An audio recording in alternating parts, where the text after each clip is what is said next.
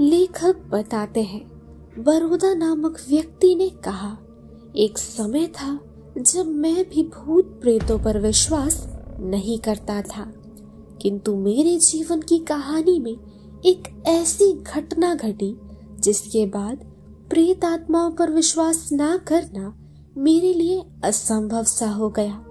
लगभग दस साल पुरानी है ये बात। ये घटना इतनी भयाभय थी कि इसका सामना मैंने अपने जीवन में दोबारा कभी भी करना नहीं चाहा। बड़ौदा अपने मित्रों से इस घटना का उल्लेख करते हुए कहते हैं, परीक्षा खत्म होते ही मैं अपने मामा जी के घर उड़ीसा जाने के लिए निकल पड़ा।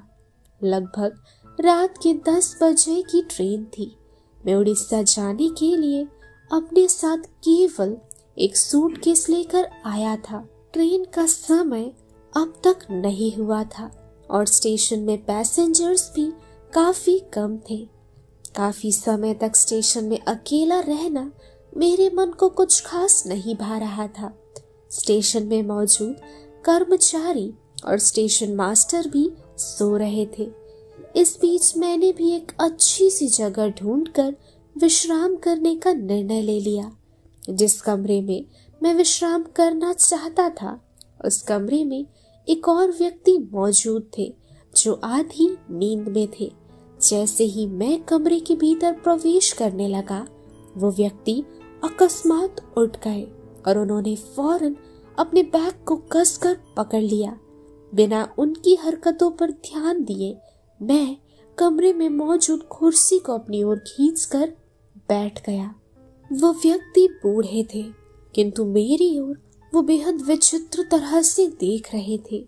इस दौरान मुझे ऐसा लगने लगा जैसे मुझे उनसे बात करनी चाहिए, क्योंकि मैं खाली पन में ये समय व्यतीत नहीं करना चाहता था।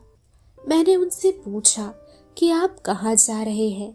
ये सुनते ही वो अपने बैग को संभाल कर रखने में व्यस्त होने लगे। उनकी हरकतें देख मुझे ऐसा आभास होने लगा।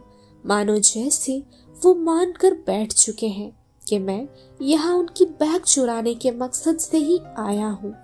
वह चेतावनी के स्वर में मुझसे कहने लगे, मैं नहीं बता सकता कि मैं कहाँ जा रहा हूँ। बरूदा बताते हैं, कुछ देर बाद उन्होंने यही प्रश्न मुझसे पूछा। मैंने उन्हें बताया कि मैं उड़ीसा अपने मामा जी के घर घूमने हेतु जा रहा हूँ। उड़ीसा के बारे में बातें करते करते उनकी स्वर और भाषा बदलने लगी। मुझे ऐसा लगने लगा जैसे वो पहले भी उड़ीसा जा चुके हैं। मैं बेझिझक होकर उनसे इस विषय पर प्रश्न करने लगा और उन्होंने मुझे बताया कि उड़ीसा के उत्कल यूनिवर्सिटी में मैं प्रोफेसर था। मैं उत्कल यूनिवर्सिटी में फिजिक्स पढ़ाया करता था। साथ ही वो बताने लगे कि उनका नाम बिरजू मोहन है। यह नाम सुनकर मुझे ऐसा लगा, मानो जैसे मैंने पहले भी यह नाम अपने मामा जी से सुना है। मेरे मामा जी बिरजू मोहन सर के बारे में काफ़ी बातें किया करते थे, क्योंकि एक समय था जब वो खुद भी बिरजू मोहन के शिष्य हुआ करते थे। कहा जाता है कि बिरजू मोहन बेहद शिक्षित विख्यात एवं नामचीन प्रोफेसर हुआ करते थे। किंतु उनकी दिमागी हालत के कारण उन्हें अकस्मात नौकरी से निकाल दिया गया था। लेखक बताते हैं कि बड़ौदा का कहना था, इन बातों को अपने जहन में सोचकर मैं उन्हें परखने की कोशिश करने लगा। मुझे किसी भी प्रकार से ऐसा अनुमान नहीं हो रहा था। कि वो, किसी भी तरह के मानसिक रोग का शिकार है। उनके आचरण और व्यवहार से ऐसा कुछ अनुभव नहीं हो रहा था। बातों ही बातों में मैंने उनसे कहा, मैंने अपने मामा जी से आपके बारे में काफ़ी कुछ सुना है, और एक समय था जब वो आपके शिष्य हुआ करते थे। मामा जी का नाम सजल बताते ही बिरजू मोहन जी आनंदित बोध करके मुझसे पूछने लगे अच्छा तो सजल तुम्हारी मामा जी है। वह कहने लगे, यह जानकर मुझे अत्यंत खुशी मिली है आज। बरोदा बताते हैं कि ये कहकर उन्होंने सुकून से अपने बैग को मेरे ठीक सामने मेज पर रख दिया।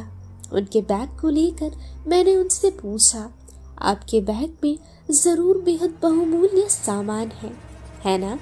बिरजू मोहन सिंह ने बताया। हाँ मेरे बैग में ऐसा बहुमूल्य सामान है, जो शायद इस धरती में और किसी के पास ना हो। उत्सुकता से मैंने उन्हें इस विषय पर प्रश्न किया। उन्होंने मुझसे कहा कि यह बहुमूल्य सामान एक हरा चश्मा है और मैं इसे सर ओलिवर लॉज को दिखाने हेतु अपने साथ महफूज लेकर जा रहा हूँ। ये जानकर बड़ौदा को कुछ खास अनुभूति नहीं हुई। बड़ौदा कहते हैं, मैंने फिर भी उनसे पूछा कि सर ओलिवर को आप यह हरे रंग का चश्मा क्यों दिखाना चाहते हैं? आखिर इस चश्मे की क्या खासियत हो सकती है? बिरजू मोहन जी की स्वर की भावना बदलने लगी। वह नम्र होकर मुझसे कहने लगे, क्या तुम भूत प्रेत पर विश्वास करते हो? मैंने बड़ी सरलता से कह दिया, बिल्कुल नहीं। भूत प्रेत का वास्तव जीवन में अस्तित्व ही नहीं होता है। इसलिए मैं इन सब धक्यानुसी बातों पर बिल्कुल भी यकीन नहीं करता हूँ। मेरी बातें सुनकर बिरजू मोहन जी हंसने लगे। वे हँसते हुए मुझसे कहने लगे, अनदेखी चीज़ों पर हमें कभी कभी विश्वास करना पड़ता है, क्योंकि धरती और जीव से जुड़ी कई ऐसी चीज़ मौजूद है जिसे हमने कभी ना देखा हो। किंतु वास्तव में हम उन अनदेखी चीज़ों पर यकीन ज़रूर करते हैं। बिरजू मोहन जी की बातों का जवाब देकर मैंने उनसे कहा कि धरती और जीव से जुड़ी हर चीज़ों की छवि हम माइक्रोस्कोप एवं टेक्नोलॉजी की मदद से देख पाते हैं। किंतु भूत प्रेत को हम किसी भी माध्यम से नहीं देख पाते हैं। इस बात से बिरजू मोहन जी भी सहमत थे, किंतु वो हंसने लगे। हँसते हुए वो मुझसे कहने लगे किंतु जैसे हम माइक्रोस्कोप एवं टेक्नोलॉजी की मदद से अनदेखी चीज़ें देखते हैं, उसी प्रकार धरती पर कई ऐसे मनुष्य मौजूद हैं जिन्होंने अपनी आँखों से भूत, प्रेत, पिशाच देखे हैं। ये सुनकर मैंने दोबारा उनसे सरलता से कह दिया, जिन्होंने भूत, प्रेत वास्तव में देखे हैं वो सिर्फ़ ढोंग एवं नाटक करते हैं। रही बात बाकियों की तो हो सकता है ये सिर्फ़ उनका एक भ्रम हो। मेरी बातें सुनकर बिरजू मोहन जी ने मुझसे कहा, एक समय था, जैसा तुम कह रहे हो, वैसा मैं भी कहा करता था।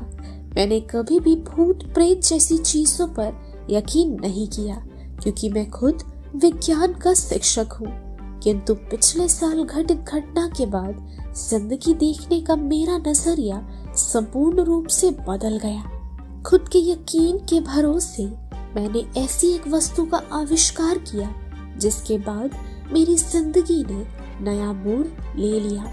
इस विषय पर बिरजू मोहन जी से पूछते ही वह कुछ देर के लिए सहम से गए और फिर उन्होंने मुझे बताया, मैंने एक चश्मे का आविष्कार किया है, जो बायनाकुलर लेंस द्वारा बनाया गया है। और यही हरा चश्मा फ़िलहाल मेरे बैग के भीतर है, जिसे मैंने अब तक संभाल कर रखा है। मैं ये चश्मा सर ओलिवर लॉज को दिखाने हेतु अपने साथ ले जा रहा हूँ। मैंने कौतूहल से उनसे इन सारी घटनाओं के बारे में पूछा और फिर बिरजू मोहन जी ने मुझे बताया। मेरे जीवन से जुड़ी ऐसी कई बातें हैं जो शायद मैंने कभी भी अपने जीवन में किसी को ना बताया हो। किंतु तुम जबकि ये बातें जानना चाहते हो, मैं तुम्हें सारी बातें ज़रूर बताऊँगा। मैं फिजिक्स का प्रोफेसर था। विज्ञान मेरी ज़िंदगी है। मैंने कभी भी भूत प्रेत जैसी बातों पर विश्वास नहीं किया। और जो लोग इन बातों पर विश्वास करते थे, मैं उनकी बातों को टाल दिया करता था, किंतु मैंने कभी भी यह नहीं सोचा था कि एक दिन मैं खुद भूत प्रेतों की बातों पर लोगों को यकीन दिलाने हेतु सर ओलिवर लॉज जैसे व्यक्तियों से मिलने हेतु जाऊँगा। जब भी मैं इन बातों का प्रसंग उठाता हूँ, लोग मुझे पागल करार कर देते हैं। ज़िंदगी की सबसे कठिन परिस्थिति मैंने अपने जीवन में ठीक एक साल पहले अनुभव किया। यूनिवर्सिटी के लेबोरेटरी में मैं दूरबीन की मदद से एक्सपेरिमेंट कर रहा था। इस दौरान मुझे हरे रंग की क्रिस्टल मिली। बिना किसी यंत्र की मदद लिए मैं लेंसेस बनाने में लगा रहा। अपने हाथों का इस्तेमाल करके मैंने लेंसेस बनाया। ये कोई मामूली बात नहीं थी, किंतु लेंसेस को संपूर्ण रूप से अच्छा बनाने के प्रयत्न में मैं जुटा रहा। बड़ी मेहनत से मैंने उन लेंसेस को तैयार किया और यह अब बिल्कुल बाइनाकुलर लेंसेस की तरह बन चुकी थी। फिर मैंने एक दिन दोपहर के समय उन्हीं लेंसेस को पहनकर कुछ एक्सपेरिमेंट किया। इस दौरान कोई भी लेबोरेटरी में मौजूद नहीं था। मैं बंद लैब के कमरे में अकेले चीज़ें परख रहा था। अकस्मात मैंने अपने ठीक सामने कुर्सी पर किसी व्यक्ति को बैठे हुए देखा। ये व्यक्ति मेरी ओर देख रहा था। व्यक्ति के पोशाक बेहद असामान्य थे। बंद कमरे में उस अनजान व्यक्ति को अपनी आँखों के सामने देख मैं घबराने लगा और घबराकर मैंने वो चश्मा उतार दिया। चश्मा उतारते ही वो व्यक्ति कहीं गायब हो गया। चंद क्षणों में हुई। इस घटना को मैं सही रूप से समझ नहीं पा रहा था। इसलिए मैंने दोबारा से वही चश्मा पहन लिया और मैंने देखा कि वो व्यक्ति बिना दरवाज़ा खोले दरवाजे के आर पार जा रहा है। इस घटना को अकस्मात अपने सामने घटित होते हुए देखना और फिर इन चीज़ों के बारे में सोचकर मन ही मन विचलित होना, यह मेरी दिनचर्या का सबसे भयावह काम बन चुका था, क्योंकि इस घटना को भुलाने में मुझे काफ़ी समय लग रहा था। खुद की मानसिक परिस्थिति संभाल कर एक दिन मैंने सोचा एक्सपेरिमेंट करते करते मैंने एक ऐसी खोज का आविष्कार किया है, जो शायद बहुमूल्य हो। मैंने निर्णय लिया कि इस एक्सपेरिमेंट के विषय में मैं हमारे प्रिंसिपल साहब को बताऊँगा। जैसे ही मैंने उनसे इस बारे में बात की, उन्होंने मुझसे विश्राम करने के लिए कह दिया। उनका मानना था, मैं शारीरिक और मानसिक रूप से स्वस्थ नहीं हूँ। हताश होकर मैंने कक्ष से प्रस्थान किया। फिर मैंने इस खोज के बारे में और उस दिन घटित उस घटना के विषय में अपने कुछ खास मित्रों को बताया। किंतु उन्होंने भी मुझे विश्राम करने की सलाह दे दी। उनके व्यवहार से मैं बेहद दुखी था।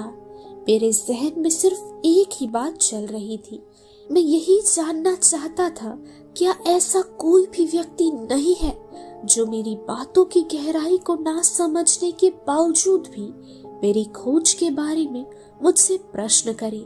एक बार यह जानने की कोशिश करे कि आखिरकार मैंने ऐसा क्या बनाया है कि विज्ञान का प्रोफेसर होने के बावजूद भी मैं उन्हीं बातों का ज़िक्र कर रहा हूँ।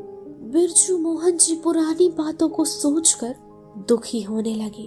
फिर उन्होंने बताया, जानते हो, काफ़ी दिनों तक मैं इन्हीं बातों को लेकर परेशान था। किंतु एक दिन इन सारी बातों के बारे में मैंने सोचना बंद कर दिया।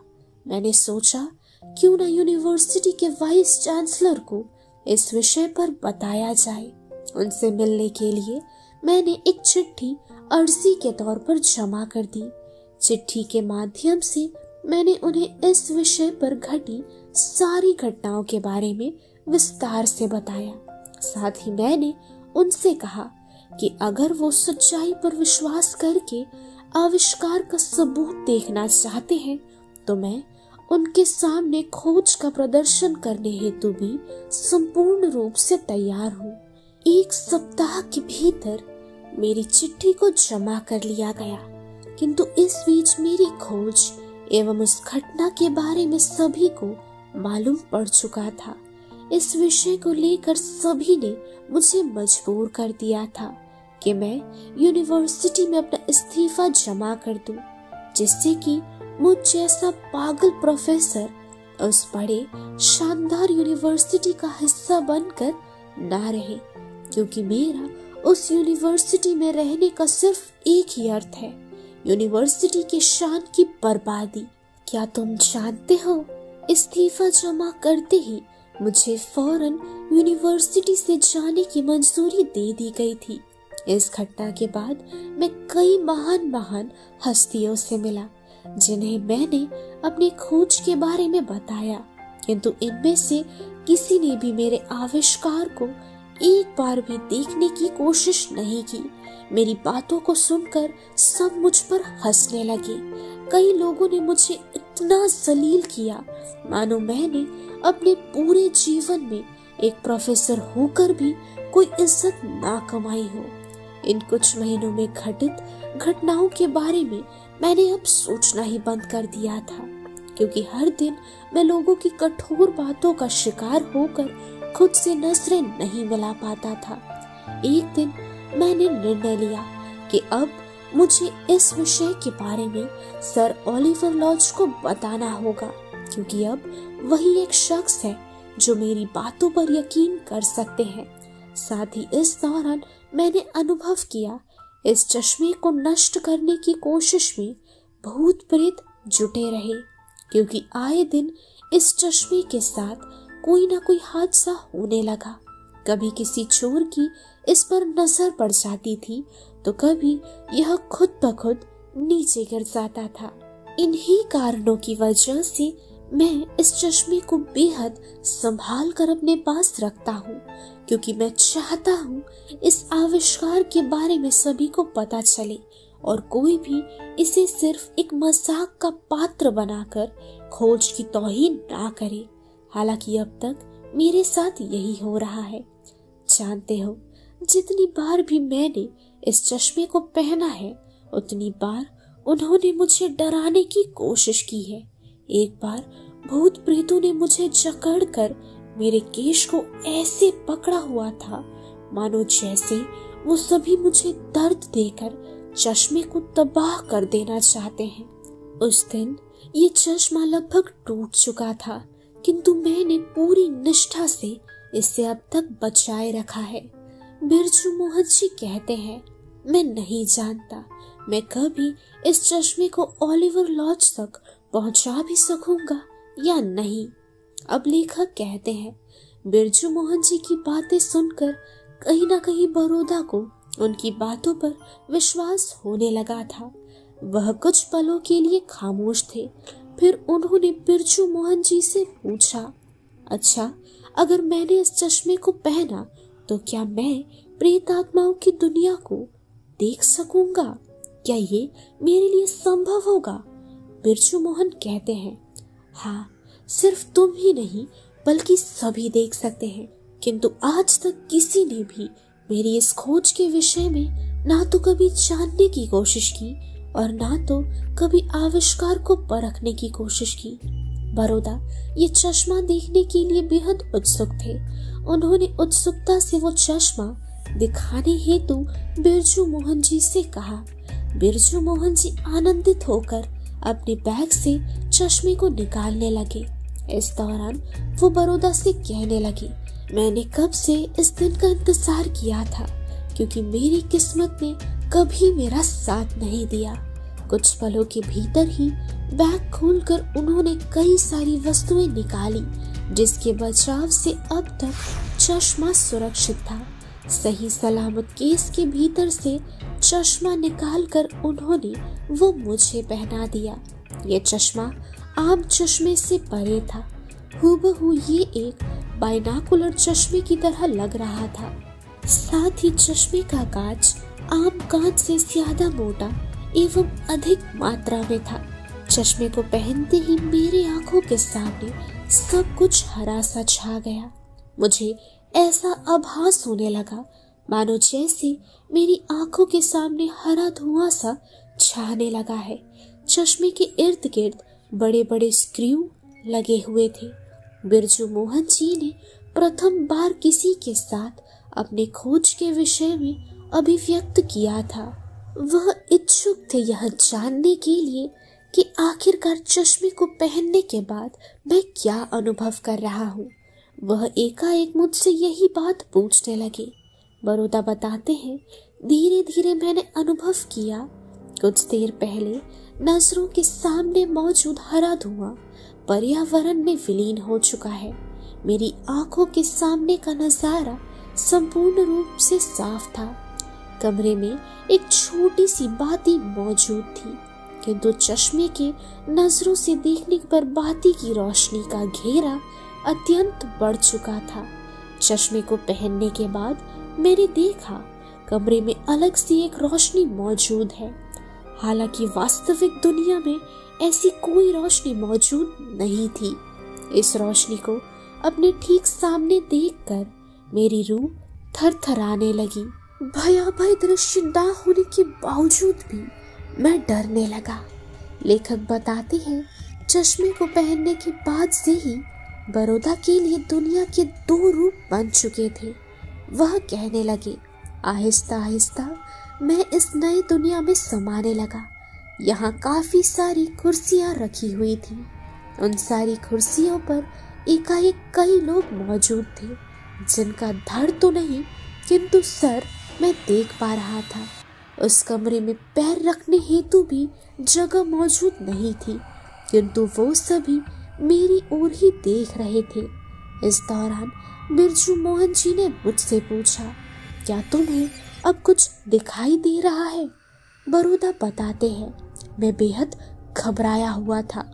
इस घबराहट की वजह से बिरजू मोहन जी की बातें सुनने के बावजूद भी मैंने उन्हें अनसुना कर दिया, क्योंकि मेरे लफ्ज मेरे होठों तक नहीं पहुँच सके। इस बीच मेरी दाई तरफ़ मौजूद एक प्रेत आत्मा मुझे निरंतर ताक रहा था। धीरे धीरे सिर्फ़ दाई तरफ़ ही नहीं बल्कि बाई ओर से भी काफ़ी प्रेत आत्माएँ मुझे घेर कर ताकने लगे। इन कुछ क्षणों के भीतर घटित इस लम्हे के कारण मेरी धड़कनें ज़ोर ज़ोर से धड़कने लगी। मानो जैसे कि कुछ ही पलों में मेरा दिल बाहर निकल आएगा। कई प्रेत आत्माओं का साया मुझ पर पड़ रहा था। इनमें से कुछ बुज़ुर्ग थे तो कुछ जवान, कुछ मुझसे आधी उम्र के थे तो कुछ मेरे समसामयिक, इनमें से कोई भी मुझे अपनी दुनिया में देखकर खुश नहीं थे। उनकी नज़रों में यह साफ़ झलक रहा था कि बिना उनकी अनुमति लिए मैं उनकी दुनिया में प्रवेश कर चुका हूँ और इसी वजह से इस दुनिया के लोग मुझसे खफा है। उनकी नाराज़गी का कोई अंत नहीं था। वे सभी मुझे लेकर बातें करने लगे। मेरे कानों तक उनका स्वर तो नहीं पहुँचा, किंतु उनकी हाथों के चाल चलन से मैं यह समझ चुका था। इनमें से एक बुज़ुर्ग व्यक्ति मेरी ओर देखकर अपमानजनक शब्दों से मेरी निंदा करने लगे, किंतु इससे उन्हें किसी तरह का लाभ नहीं हुआ, क्योंकि उनका कहा, एक भी लफ्ज मैं सुन ना सका। काफ़ी देर तक मेरे विरुद्ध बातें करके वो अपनी नाराज़गी मेज पर दिखाने लगे। दोबारा से वे सभी मुझे लेकर विचार विमर्श करने लगे। इस दौरान मेरी मनोदशा अकल्पनीय थी, किंतु मेरे सहन से यह बात संपूर्ण रूप से निकल ही चुकी थी कि यदि मैंने इस चश्मे को हटा दिया तो मैं भयावह दुनिया से दूर वास्तविक जीवन में पहुँच जाऊँगा। मुझे ऐसा ही अनुभव हो रहा था। जैसे कि मैं आम दुनिया में ही मौजूद हूँ। यहाँ मनुष्य तो नहीं है, किंतु यह भूतों का राज्य है। मैं समझ चुका था कि मेरे अंत की बातचीत ही हो रही है। मुझे मानने के लिए उन सभी में तहलका मचने लगा। हालाँकि मेरी बुद्धि विवेक काम नहीं कर रही थी। यदि मैं चाहता तो चश्मा खोलकर आम दुनिया में वापस आ पाता। किंतु मेरी सदबुद्धि ने मुझे भागने का इशारा दिया। आहिस्ता आहिस्ता वो सभी मेरी ओर आने लगे और भयभीत होकर मैं जोरों से चिल्लाने लगा। आहिस्ता बढ़ाई गई कद में तेज रफ्तार से भागने लगी। मैंने अपनी रफ्तार और तेज बढ़ाई, किंतु अकस्मात मैंने एक आवाज़ सुनी। स्टेशन से आवाज़ आने लगी। यात्रीगण, कृपया ध्यान दीजिए। गाड़ी नंबर एक आठ शून्य शून्य पाँच, प्लेटफॉर्म नंबर सत्रह पर आ रही है। अकस्मात ट्रेन की इंजन मेरे बाजू से निकल गई और घबराकर मैं नीचे ज़मीन पर गिर गया। इस अफरा तफरी में मेरी रूह काँप उठी। साथ ही वो चश्मा मेरी आँखों के सामने पटरी पर गिर गया और धीरे धीरे ट्रेन ने उस चश्मे को टुकड़ों में चूर चूर कर दिया। ट्रेन थमकर पैसेंजर्स को अपने साथ लेकर चली गई और मैं वही बेहोश पड़ा रहा। बेहोशी की हालत में मुझे ऐसा आभास हो रहा था जैसे प्रेत आत्माएँ मुझे देखकर जोरों से हंस रही हैं, क्योंकि उनके खौफ ने मुझे इस कदर परेशान कर दिया था। साथ ही इस खौफनाक घटना के बाद वो चश्मा भी बर्बाद हो गया। कुछ देर बाद सब कुछ शांत हो गया। मेरे इर्द गिर्द स्टेशन के कुछ लोग मौजूद थे। मैंने धीरे धीरे अपनी आँखें खोली। मेरे बगल में बिरजू मोहन जी बैठे हुए थे। मुझे आँखें खोलते हुए देखकर वे फ़ौरन मुझसे पूछने लगे, मेरा चश्मा कहाँ है? तुम उसे कहाँ छोड़ कर आए हो? या फिर वो कहीं गिर गया? मुझे बताओ, मेरा चश्मा कहाँ है? मैं बेहद चिंतित हूँ। मैंने अब तक उसे सावधानी से रखा था। मुझ पर दया करो, बता दो आखिरकार मेरा चश्मा कहाँ है? बिरजू मोहन जी की चीखें सुनकर मैं दोबारा से बेहोश हो गया। किंतु इस बार मैंने बेहोशी का सिर्फ़ नाटक किया। क्योंकि बिरजू मोहन जी के सवालों के सामने मैं अपनी भावनाएँ, वो खौफनाक पल व्यक्त नहीं कर सकूँगा और मैं उन्हें यह भी नहीं बता सकूँगा कि उस दुनिया से वापस लौटने के लिए मुझे चश्मा खोलने की आवश्यकता थी, किंतु उस व्यक्ति के भयभीत परोदा में चश्मा खोलने की भी शक्ति नहीं थी। तो दोस्तों, यही थी आज की कहानी, हरा चश्मा। यह कहानी सरबिंदु बैनर्जी ने लिखा है, जिसमें खौफ, सदविवेक, डर, प्रेरणा, धीरज जैसी कई बातों का वर्णन किया गया है, जिसका आम जीवन में होना महत्वपूर्ण होता है। रही बात कहानी की तो यह कहानी आप सभी को कैसी लगी, मुझे कमेंट सेक्शन में बताइए। कहानी का मूल उद्देश्य यही था कि आप सभी को इस कहानी के विषय में पता चले, क्योंकि देश भर में ऐसी कई एक्सक्लूसिव कहानियाँ मौजूद हैं, जिनसे हम सभी आज भी अनजान हैं।